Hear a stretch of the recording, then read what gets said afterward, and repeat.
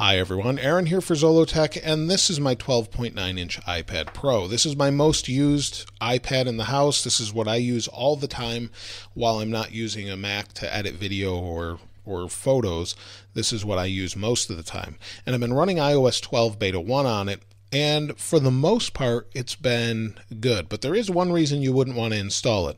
But first, let's take a look at one of the weird bugs. This isn't really anything major, but you'll see there's four dots right there. And those four dots are usually representative of having cellular.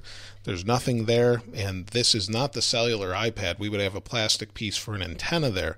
So it's not the cellular version, it's just the Wi Fi version, and those four dots disappear when I pull down the command center. Now, as far as the speed goes, speed has been pretty good on this. I really haven't had any issues going through most things, although there are some bugs here and there and things will crash from time to time, especially Skype. If you're using Skype, Skype doesn't work so well. Uh, in fact, I can't get it to stay open on my iPad or iPhone. But overall, there's not too many issues with it except for battery. Battery has been horrible for me on this. I'm getting about three hours of regular usage before having to recharge it. And you'll see over the past 24 hours it hasn't been horrible, but it's almost down to 75% at 1 hour and 36 minutes. And depending what you're doing, it just goes up and down. Now, this is one of the new features with the high brightness. That's because I'm recording this under fairly bright lights, and you can just go here and adjust it and go back. So that's a really nice feature.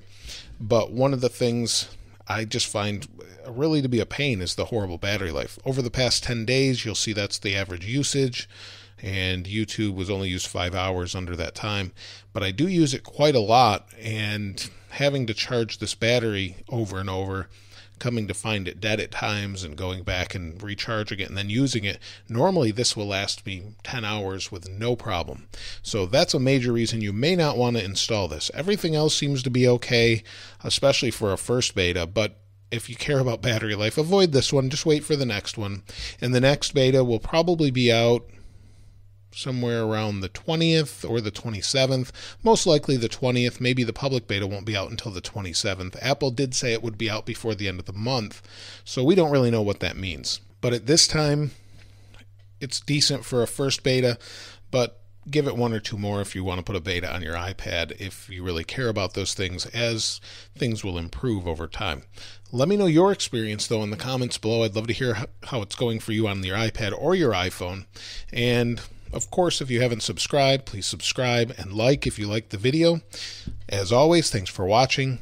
This is Aaron. I'll see you next time.